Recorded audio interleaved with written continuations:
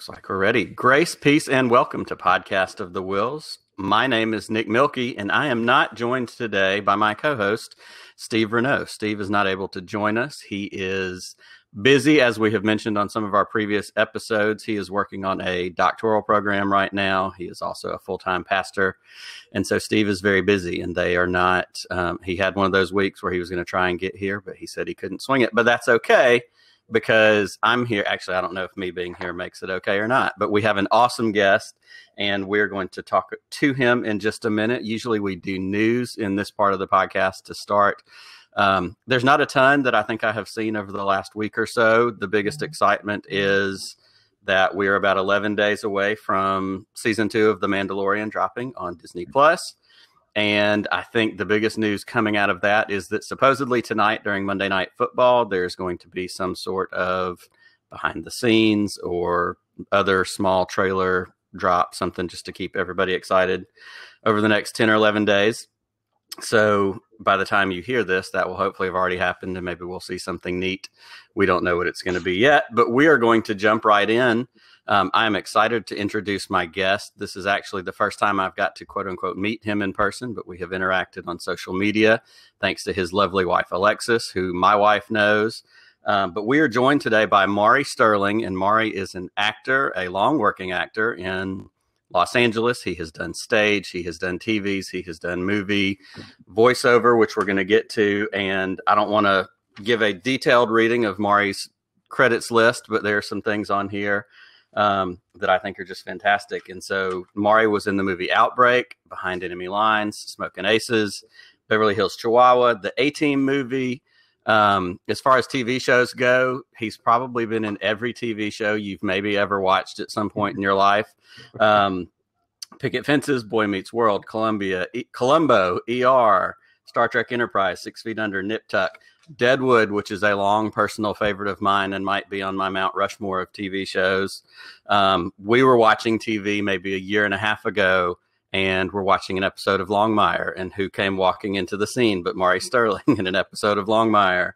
Um, Always Sunny in Philadelphia. But what I think most of our listeners will hopefully know Maury from and it's hard because your name is Maury and this character's name is Max, and so I may call you Max at some point during this interview. Right. But you played Max in Homeland, and that's certainly a big deal and was such a great role. Um, I know that you did a lot of really, really great work, especially in that. So, welcome to Podcast of the Whills. Thank you so much for joining us on a Monday morning to talk Star Wars. It is my pleasure. Thanks for having me. Uh, yeah, thrilled to meet you virtually. The best we can do for now. But yeah. Absolutely. Well, we are honored that you are here. And what we are looking forward to doing today is, you know, I want you to start out by just telling us about yourself, telling us about how you got into acting. You know, give give us the the four one one on Maury. It's actors actors favorite question. Let me talk about myself. Um, Please do. That's why we're here. I was born in uh, the Bay Area. I grew up in Valley, which is just north of San Francisco, uh, by about half hour, forty five minutes. Um, yeah, it was fun, fun place to grow up. Uh, story short, got into acting uh, when I was about seven. Um, the story I used to tell was I didn't like baseball, and oh, what was the story? I think I made up some story of yeah, I didn't like baseball, and I was getting into too much trouble, and I saw theater and I wanted to do that. I think the truth is I just walked by the theater one day and I saw this thing happening, and I immediately felt this pull of I want to do that.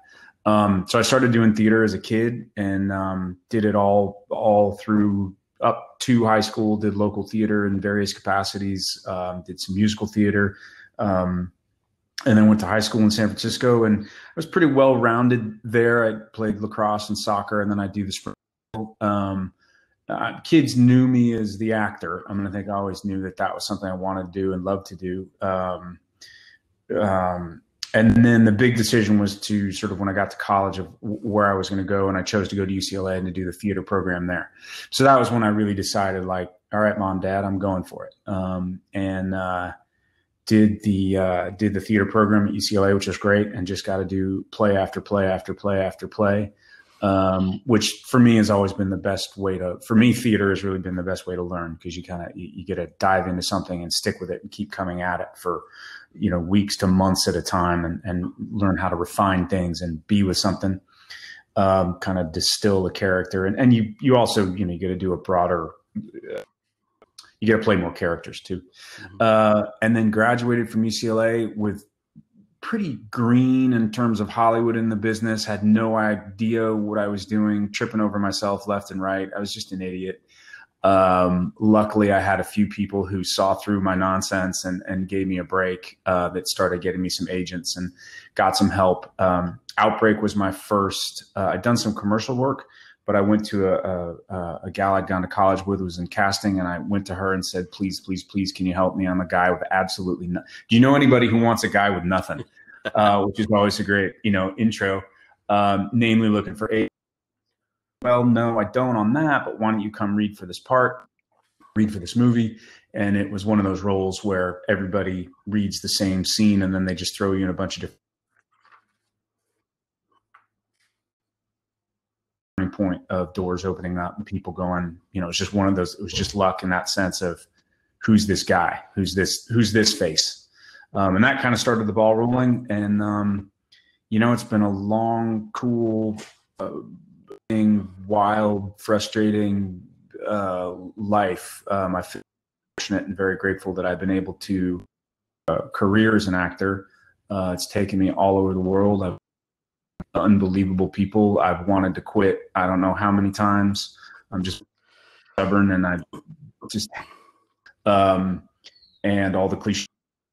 Um, and yeah, and it's it's just been a, it's been an amazing ride. Uh, Homeland really, yeah, that's that's that we just wrapped that up, and that that has been sort of the most notable of. Um, but uh, yeah, that's kind of the the the, the big the broad stroke. And that's I I think that's amazing, and I like hearing you say, you know, what those of us who do not work in the entertainment business, but you know, have read and paid attention over the years, and you hear exactly what you're saying, how much it's a journey, and how you know you do have to go through the ups and the downs and the hating it and you know being ready to quit. And i think one of the things that's so impressive and i wonder if this leads maybe this is my question does it help lead to the longevity you've had is the diversity in i mean just what i used was your imdb page and the why. i mean you've got tv you've got movies you've got voice work i know you do stage stuff you've done independent stuff like there I, surely that has to help in being uh, able to make a career out of it. Yeah, I do. I mean, I think it's good. I'm like anything. You, you practice practice. I've been thinking a lot lately, like sort of what what, what are the ten, what are the things, uh, you know, emotionally, spiritually, just everything, and and a lot of what it comes mm-hmm. back practice and discipline and not giving up. And and um, theater has always kept me i mean luckily when i graduated from uh, college what, what i really left with from ucla was a really close group of friends who we started a theater company. That, for at least the first people started having family and doing theater for three months at a time that you could get paid nothing for was kind of becoming untenable uh, you know that kept us buoyant it kept us alive it kept sure. us in the work it kept us keeps your mind on track. Um, or some of the, the best advice. I remember reading a book by Karl, school actor, saying, you know, his mm-hmm. advice to actors is get a hobby, find something else in life that you love, find something else that's going to keep you um, not so. You'll just go trying to base your sanity on the highs and lows of the business. You know, Sure, something something that can ground you. Something that grounds you, something keeps you steady. And you know, and he's like, I don't care, gardening, whatever. For me, it was martial arts, and then I fell in love with horses, and I and uh, that kept me on a lot. You know, I'd work here and go to the ranch and work there, and, sure. and that that kept me grounded. And it's also good because it gives you stories, it gives you things to talk about. Mm-hmm. Continue to after you're always watching. What is that person like? And you know, I know this. I was raised this way with this mindset, these beliefs, these attitudes. Why don't I go somewhere else and and really embrace like, well, what about you know? Side note is that sorry about a plane going over, but side note is that's that's what I love about art is it's to really play a character. You got to get through your own nonsense, so you can't be in a character you gotta you gotta get what are those characters' judgments? What are their thoughts? What are their feelings? So, um, yeah, got off track there, but I think, but no, that's awesome. way of saying how, how, how to stay alive, and I think practice, practice, discipline, mm-hmm. practice will keep you keep you in it and and tune. Absolutely. And I, and I think, like you said, with what Karl Malden said about a hobby, something that can ground you mm-hmm. outside of it. Some of the things that you mentioned, and you said this a little bit already as far as getting stories, but like something like martial arts, like that brings discipline. That's a part of doing that. So not only does it help you have a physical release, but you're learning those other skills. And whether it's, you know, doing an intent shoot where you have to be, you know, in a war zone type situation like Homeland, or, sure. You know, that could be isolating. You know, the stories we've read, I think one of the big marquee ones was Jim Carrey doing the live action Grinch movie and being in that suit and the things that he tried to do to keep from going nuts because he was isolated or, you know, th- those disciplines and those things, whether it's gardening, whether it's something else, there's going to be other takeaways that hopefully you're able to apply to your career. Exactly. No, absolutely. And and and I think that's probably for all of us. You know, whatever career you're in, those hobbies are going to inform either hopefully being better at your job, being a better family person, whatever it is, that release. Uh, talk a little bit of, if you would. Like I said, you've got such a varied catalog. Um, what have been some of the highlights? Like obviously, Homeland was such a big, like you said, it was a marquee thing for your career. But like, you know, I think about Deadwood and I go, holy crap, to be on the Deadwood set for a couple days, that would be so fun. Uh, it may not have been, it may have been really miserable, oh, yeah. but looking at your looking at your list of stuff you've done, I'm sure there's a million fun stories of people you met, yeah. experiences. Give us a couple of highlights. Um just in general because it took us all over the world and it was, you know, South Africa, uh New York, Virginia, uh, Morocco, you know, even it's and it that's just one of the general perks of the job, be in new places, um, mm-hmm. and the level of uh, talent, uh, you know, was really you really had to be a, on your you know, because uh, everyone was bringing it. Um, mostly that's been my experience. I didn't work with Kiefer Sutherland on 24. Um, mm-hmm. Uh, doing Hart's War, hanging out with Bruce Willis and all those characters were running around in the Czech Republic. Um, uh, De- Deadwood was amazing because because you go to work and watching. I was really a fly on the wall, bit bit part, sure. but I had two days of work. Um, and some of, some of my greatest experiences are where I acted like a complete idiot. I had a scene where I was basically a glorified extra behind Tim Olyphant and um, mm-hmm. scene, and I was. Oh my gosh, that's amazing! I was sitting. I was a bar patron, and I was in the back just it up and you know, they came up and basically said, "This is not about you, right?" Um, You're pulling focus away from the leads here. Dude, probably the worst kind of acting, and uh, but at the same time, I'm once I got schooled and humbled, I, you know, I watched Ian McShane apply methodology to a scene, and it was one of the most amazing things I've ever seen. Watch, watch. Speaking of speaking of people we need in a Star Wars, hmm. we need Ian McShane in a I Star Wars. I watch him doing it. No, he would. Yeah, yeah. He's right. We can put him in so many places in Star Wars. Um, that was great. Uh, I mean, the behind enemy lines I did was was the knockoff version, and uh, we did in the you know for six weeks, and, and and there's always a person or an event or something you walk away from. Uh, I remember doing the A team and uh, Rampage. We were a bunch of fancy people. There was Brad, Liam Neeson, with Jessica. People who are very fancy. Rampage Jack sure. clearly. And there was a kid who came if he could take. And finally, the kid, I guess he wanted to leave, just decided to take his picture. Rampage is a very nice person in my he just whipped out and grabbed that. Oh take a picture. And i was watching this whole thing going oh dude you just took Rand Jackson's phone or he just took your phone. Like what are what you you are so screwed. A, a, a few moments that's right. Yeah. Just a few moments. Well, um, well, we are obviously a Star Wars podcast, and that's a lot of what I would, you know, love to hear about. Um, tell us about your Star Wars journey? Did you grow up a Star Wars fan? Is it something I know it's work, and we're going to talk about yeah. that part of it in a few I, uh, minutes. Uh, um, But I would love to hear if you have an origin story, if it was something, or if like baseball, you kind of went, mm, "That's fine," and you moved on. I was laughing today, Nick, because you know you, you're going to do things like this. Goes, "All right, you want to sound good, say the right thing, don't feel like a total moron." Um, you know, my Star Wars enough, and completely geeked out. So I have my, you know, Oh, look at that. um, I don't know if you can see up there, but during pandemic, I uh, started collecting the Bandai series of samurai Star Wars mashup. Oh, wow. So I, That's I was just started giggling of uh, we have Star uh, pictures in our bathroom. Um, it was fun to go back and start thinking. Six when the 1977 the first movie came out, hmm and I remember. So thank you because it brought sort of this nostalgic. Like it, I Oh, remember absolutely. waiting in line. I think it was on Geary Avenue in San Francisco. I was there with my mom and sister, and there was this line, and there was this feeling. I don't know. There was this, and in the line, nobody knew what we were going to see. hmm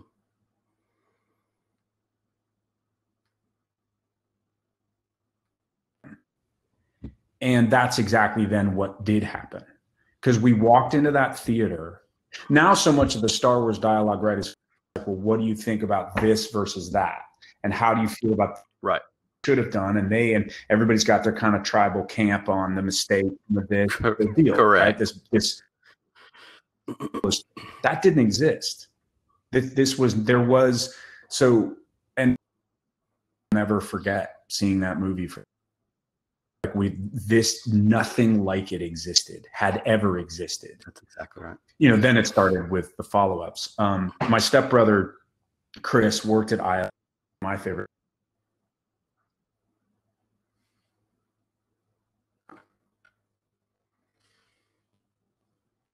we got to go in and see uh, the models and and the designs and the whole thing. And that was one of the most amazing things i'd ever seen. So we saw the hoth landscape of the of using different size models for perspective Uh-huh.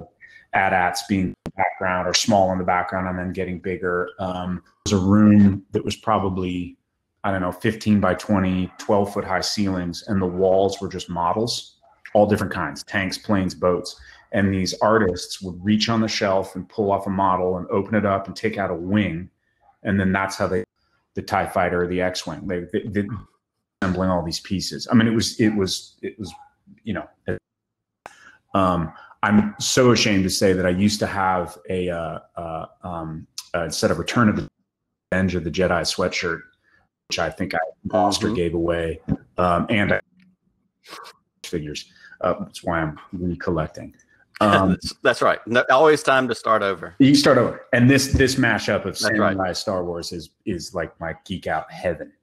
Um, That's so cool. so those are the early, but yeah, it's like I grew up with it, Mhm. you know, and, Mhm. and it, it's a yeah that's something that yeah and that's something that we talk a lot about we've done you know episodes of our show we did a 40th empire strikes back anniversary episode a while back awesome. and had a couple of friends on and i'm you know i'm was born in 78 so i was not there for star wars but by the time empire was coming out i was younger. My dad was already watching it and then return of the jedi i definitely saw in fact i remember seeing that at a drive-in theater in the Oh. 80s and 83 you know with my parents in the back of a station wagon.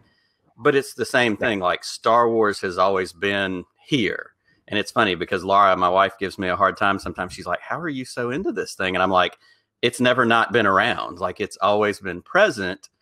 And you know it's gone through its ebbs and flows as we've talked about. And so you got those first three movies. And and that's and i've listened to several things recently where they said exactly what you said about the excitement of being in line. And nobody had any idea what was coming. There had been nothing remotely like this before. The groundbreaking nature of what george lucas did but the story and i always go back to in anything story is the driver mm-hmm. and the story was mm-hmm. there and the things that he pulled from to tell those stories those spaghetti westerns the kurosawa films like all these things that informed what he made you look at it and you go well of course that's likable and i think that there's so many elements in that. We're seeing more of that now with some of this newer stuff especially in the mandalorian i think there's so many connecting points back to that original spirit of what george lucas did but like you said, there also wasn't competition and there wasn't a bunch of people on social media picking apart the reveal in Empire Strikes Back because it was just holy cow, this amazing thing happened. I hope we get another one. Um, but like I love that point. It's always been present for me as as a, you know a person who's 42 years old. It's always been around. It's always been a part of what I've loved and been into. Um, and then we move into the newer eras. Yeah. No, the fact that it's crossed so many generations yeah, too is amazing. Without a doubt. And even now, you know, I watched it with my dad growing up. And I remember the other part of watching those early movies was somehow he had them recorded on beta tapes, not even VHS tapes. He had them on beta tapes, recorded off HBO. And we wore those tapes out. We just, you know, they got to the point where they didn't work anymore. But that was something that I shared with him and but now my girls like I, one of my twins is 12 years old and she loves star wars and she's constantly like hey can we watch star wars? Hey can we do this? And so for me you know there there is that crossover generationally that is something that i'm just like and i have all girls so i wasn't sure i'd get to do that but i've you know my girls in varying degrees are into right. it um, because it doesn't have to be for boys or girls either obviously. But um but yeah the generational crossover and and like you said especially for you to get to have seen that original first movie i just can't imagine how amazing that was to walk and that blend. Yeah. Yeah. No i when um, new hope came out again. Oh sorry. For a second. That's right. When new hope came out again uh, with the re-release with the added scenes i mean what i'll also never forget there is guys my age like pushing their kids mosh pit. It was great. Mm-hmm. It was great. No doubt. Well, and it you made another point talking about collecting, and it's never too late to collect stuff again.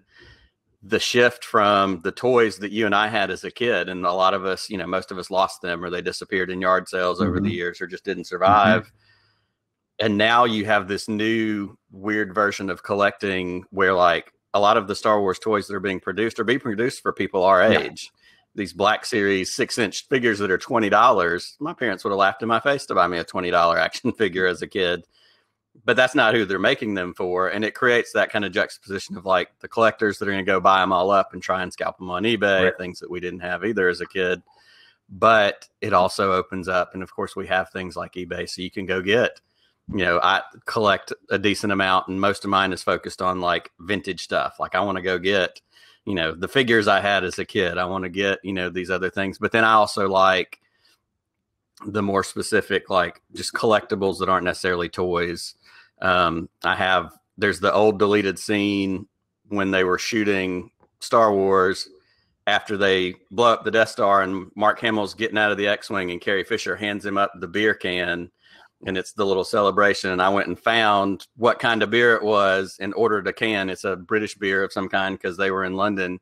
Okay. Oh, um, and I'm like, to me, those kind of little yeah. things are like, that's a fun Star Wars collectible. Um, but it leave, you know, there leaves so much out there that you can find. And of course, it's, you know, it's a spender's market. If you've got the money and want to go for it, you can go crazy. Um, but yeah, but so for you to have grown up with it, that's amazing. And then, you know, for me in the 90s, the expanded universe books, like I read, you know, a good number of those before they kind of changed the canon to what after Disney bought it and kind of threw some of that out. Right. And that was our lifeline because the prequels weren't announced and those movies weren't coming along. Did you have an experience similar to mine when the prequels came out? Was that a letdown? Was it just exciting that there was more Star Wars? Did it register at that point? The pre, uh, the the first, the second three, this first, yes, mm-hmm. uh, letdown, yeah. letdown that that I think we all shared of what the heck, sure. ju- what is going on? Of uh, so and and and that led then to again the excitement of then the last round of of and where we are now of getting to realize right. like oh wait a minute all these other stories. Oh this is really mm-hmm. cool now. Like we can keep living. Yeah, the, the second three one two and three felt like a not a mm, i would a mistake but um I was still excited. I was still going to see because curiosity and wanting to be No in doubt. the world was stronger than you know not. But yeah, it felt like a, a what the heck Yeah. just happened. No doubt, no doubt, and I and I agree with you completely. And I think it's one of those. You know, we had gone so long, and the fact that we were getting anything made a lot of things forgivable. But then we reached a point when then the second new one came. You're like, really? We're still doing this? Like, what happened? And yeah, and George had a chance to come back and try and do things he couldn't do before. And I think there's, you know, some short shrift sometimes that's given to the fact that in the first three he did amazing things, invented new technology, did all this other stuff, and even for those second round, he was still inventing things and he was still doing motion capture more than other people had been doing and breaking ground. That's always kind of been his deal. But it almost at one point reached a we don't have to go quite that far, George. Maybe we can put a couple more practical things in, build a couple more sets. Yeah, and it was it, they felt um they lost a little bit of there was a darkness in the first three that I thought got Mhm. lost in the in the in is in in New Hope on one, two, and three. They, they there there was they lost that, it, which I feel like we've also gotten back to. Right. One like Mhm. That there's it's a dangerous world. This is a world of ragamuffins and rapscallions, and and it, it- you know that that's the piece I've always liked about. It, you know, it's always on that line, but those the Mhm. three felt like they lost that to me in a way. For sure. And it, it's, I've thought, I've noticed this over the years. And as I'm seeing, you know, generally, generationally, as we mentioned before, you have a generation of people who were eight and nine and 10 years old when that second round of movies came out. And that's their entry into Star Wars. Like that's their Star Wars.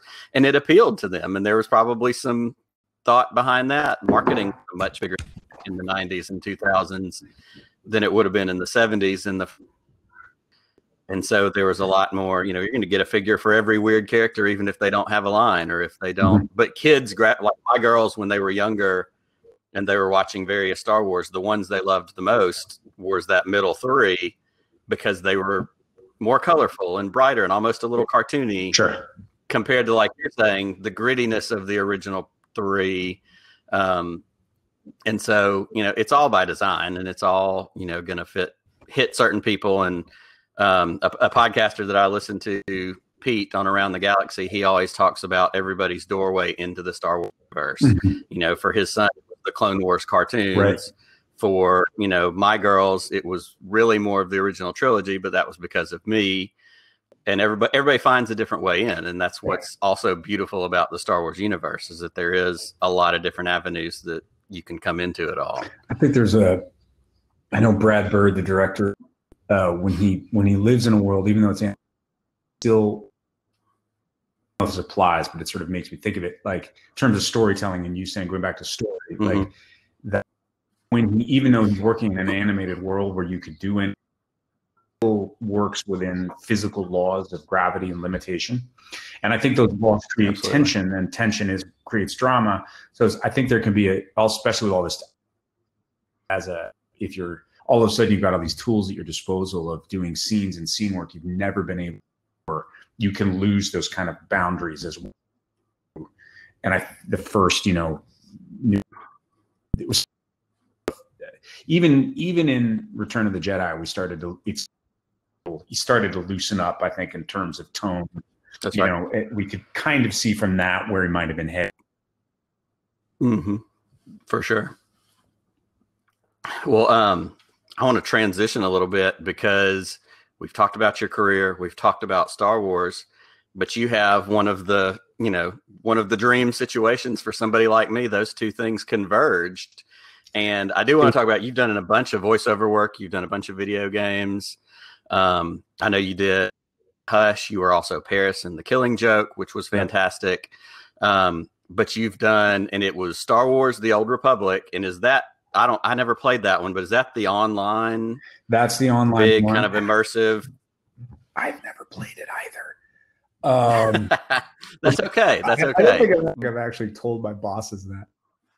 Yeah, that's the massive. But talk about your talk about your Star Wars work and talk about what you've been able So, to do, uh, you know, through that. How that went was actually kind of great. I met these guys. I mean, I, I, I looked. I was, you know, I was. I, was, I looked back. I think my first credit is 2011. So it's been nine, it's probably been 10 years that I've been getting to do that. And, and that's just,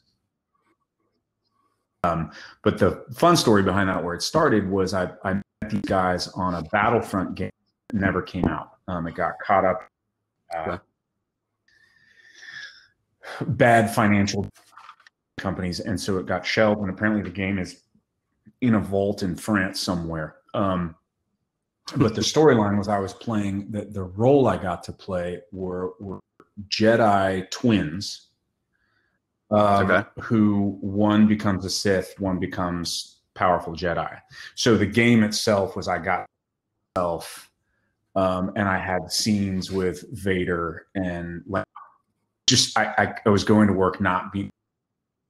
And then the best part about it was they did facial capture of my body was a, mm-hmm. a, a so I had this really cool like walk. I looked really, really badass. but anyhow, that, that's how it all started, which was which was uh, a, a, really fun way in, and from that, that led to going and getting, which is sort of Han Solo derivative uh, on mm-hmm. on mm-hmm. on my. Um, and it's just it's it's so much fun to do. That's amazing. I think that I think voiceover work to me is very fascinating overall. And, you know, as somebody who's watched, you know, Mark Hamill has had such a huge part of his career in voiceover. Um, you know, you, you see so many actors that do that. And I love that there's that crossover ability. And I would imagine even over the course of what we've dealt with since March, voiceover work hasn't suffered mm-hmm. the way a lot of your other work has suffered, I would guess. Yep. No, it's still going strong. It was considered, you know, an essential business sort of from the get go. So yeah, and you you've even seen I've seen on Twitter some of the folks that are you know building impromptu voice studios in a closet and throwing up some towels on a bar, and then you send it to somebody and they can edit it, and that's fascinating too. But I love watching you know i watch videos on youtube you'll see of you know folks in the studio or even even doing vo for movies or drop-ins and that kind of stuff to watch the behind the scenes episodes of the mandalorian where they show you know pedro pascal in front of a microphone watching it on a screen and like Favreau comes up and gives him a pillow to hold because he wants his body to be like he's carrying baby Yoda. And it's to me that is just there's more in the process. It's more than just going in a booth and saying some things. Like you talked about earlier it's a mindset and getting past your limitations or your who you are to then be male smuggler or captain whoever. It, it's a um, voiceover is it's a real tightrope, and I, you actually just described it very well in the sense of the way because there's nothing else. The way the tiniest position. I remember a guy named Bob Bergen watching. He was a guy doing a seminar with him, and he always says, it, you know, I hope you have a picture because if you can phys- slight physicalization changes the voice holding that pillow mm-hmm. because of direction of your head what you, you just it, who are you talking to? I mean a lot of it's acting 101 but i think there's something about the voiceover because it's such a tightrope. You know if you just add like it things mm-hmm. is fun you know be really good at it. I'm, I'm pretty good at it. It's it's it's amazing the distinction can come through. You mm-hmm. also play things you would just wouldn't get to do you know? Absolutely. And it's you know it's never not fascinating. Do you do impressions? I'm always impro- i'm amused by impressionists too but that's another aspect that you see you know the examples i think of maybe more specifically are you know you've got star wars rebels you've got the clone wars you've got these newer star wars animated shows but then you've got you know the audiobooks. and so you're using you know, you're not going to get James Earl Jones to come in and do the audiobook or reprise, you know, Vader for Clone Wars or Rebels or whatever. But you have Stephen Stanton and you have, um, you know, these other actors that come in and they can do a Tarkin or they can do, and you're sitting there going, no, that's really good. And, but it's not just a straight up copycat either. And so that's another element to me that I think is just fascinating. That's not a skill I would claim other than embarrassing. uh, but it's it's impressive the guys who can really do that. It, mm, yeah, absolutely. And you and again, such an example to me or just a fun example is Mark Hamill's Joker. He, He's so I just, it's wild. it's wild. I love who he's become. I, I love. He's such a great example. I remember William Shat a long time ago. I think it was Terry Gross, NPR or something, and she was saying, "What do you think about your career?" And he said, "Career." Like, here I am not. Um, uh, and he, you know, looking back, he's like, "Sure, I've had a career." Hamill feels like that too. Like, who who knew he was going to be Luke, and now who he is, who he is now. I just I Right. love it. Yeah, and it's so neat because it seemed like in a hot minute he did get kind of typecast as Luke and cornered into that thing early on Early because on. that was early on for him. he Early on. had um whatever uh Endless Summer, whatever the movie Mhm. was before Star Wars, like he had those one or two things, but then Star Wars of course blew up and he couldn't have predicted how it would have blown up.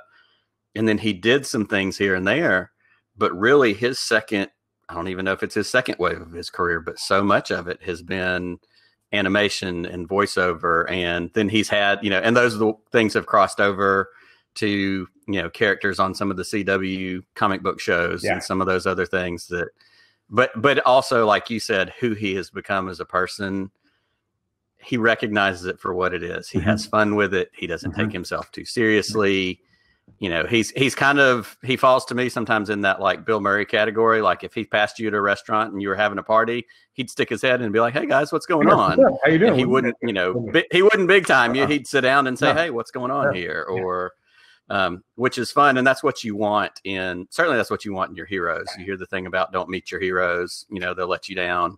But i feel like we'd be okay if we got to meet mark hamill. He wouldn't he wouldn't let us down. No, no, totally. Um, well, I want to transition again one more time, and then we're going to get close to wrapping up because I'm thankful for what you've given me today. Um, we've talked about old Star Wars. We talked about the middle Star Wars. We're in a new era of Star Wars with Disney buying Star Wars and Lucasfilm and all that a few years back. Um, you hit it before I ever got to it. You know, it has become very tribal. It has become very, you know, it can be a turnoff, to be honest. There's a lot of and at one point we have to stop and go it's a movie about space wizards intended for kids and yes those kids grew up to be 40 and 50 year old adults so we should calm down a little bit. But the new era of star wars has brought three new movies. We've had animation shows. We've got the mandalorian now which is just kind of lighting everything on fire in a really fun way. Um, do you have any initial kind of thoughts about the new era of star wars? Anything Oh. that you know stands out Um, well, I was thinking about uh, there's one. and, and also any potential future involvement you might have. I wish I had. I wish I had a surprise in that regard. Um, but we'll see. I'll keep you posted. Um, nothing definite. Uh, I, I, I, one of my window for me is valuable because of in particular, which is the scene between the two biker scouts in I think it's the last episode, directed by Taika Waititi. Like Uh-huh. that is one of the best scenes I have ever seen in Star Wars. Uh, It's so it great. was like it just because it was somebody together, which is what I love about J.J. Abrams doing it. I, I mean, I'm I I like where we are now because there was kind of the middle wreckage of what the heck are the middle three. Now we get to be in this world, pros cons, however you feel. Sure. I mean, I just love it, and I don't have many. There have been moments where I was like, but over the latest round, I don't know the animation stuff as much, but um, I mean, I'm, I I think short answer. Um, yeah. Yeah, and, that, and that's awesome. And I'm not fishing for you to hammer on anybody because I feel the way you do. I really feel like we're getting new Star Wars. We should totally be happy. And sure, I wish you know some things in Rise of Skywalker had been different. Yeah. but it was still Still fun. fun. It was still Good good. And moments. Me being mad about it changes nothing. Changes nothing. Well, you made me think.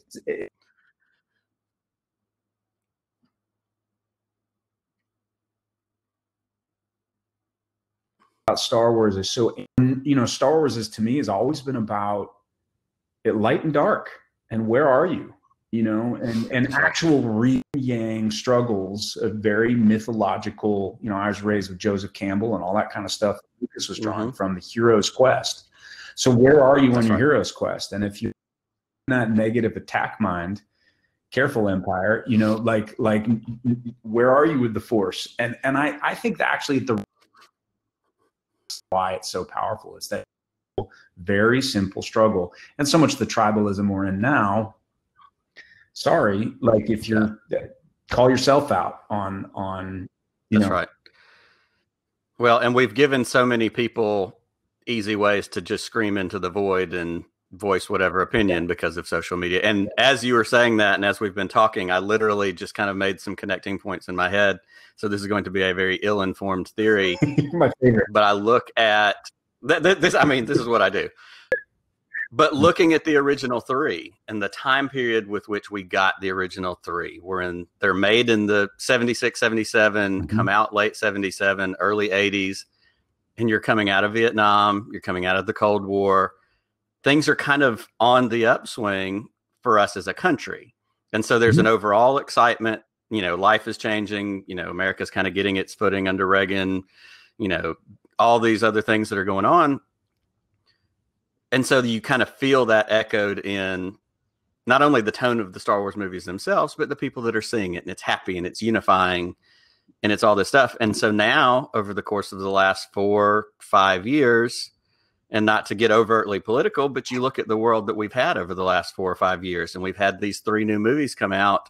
And whether it's reflected in the movies themselves or not, it's reflected in the fan base of the toxicity in the world and the competition and tribalism in the world that you see on a political front, on a social front.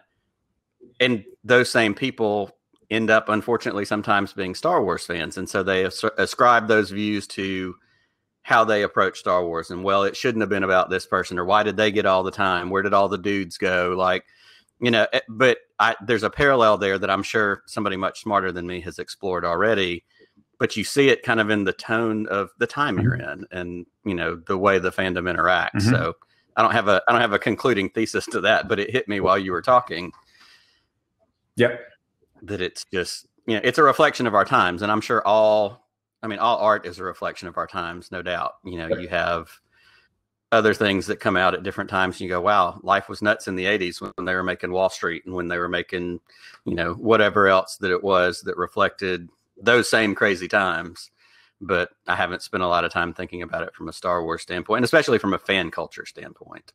Um, so i think that's interesting um, just to see the difference but it, i love too and like you said talking about mandalorian you know, it brings something really fun to this Star Wars universe. And I think it comes back to not only story, because it is a fun story, and the reports are they're going to expand that story more in this new season and kind of branch it out so that it's not solely focused on him and the baby Yoda. And part of that's going to be marketing, setting up other spinoffs sure. and some other things that they're going to try and do, which is normal. But the thing I love, and I think it was on um, they did that gallery series on Disney Plus. That's the eight episode behind the scenes stuff about the making of Mandalorian. It was as many episodes as the show itself. And if you haven't watched it, I recommend it. It's fantastic.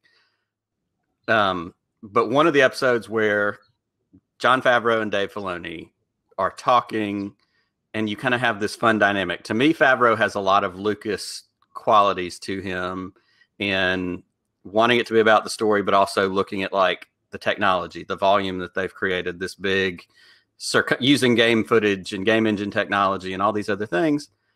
But then you've got Dave Filoni, and he's the Star Wars nerd at the table. Like he's the guy going, mm, "You can do that," but this other thing, and he learned it directly from George Lucas and worked under him.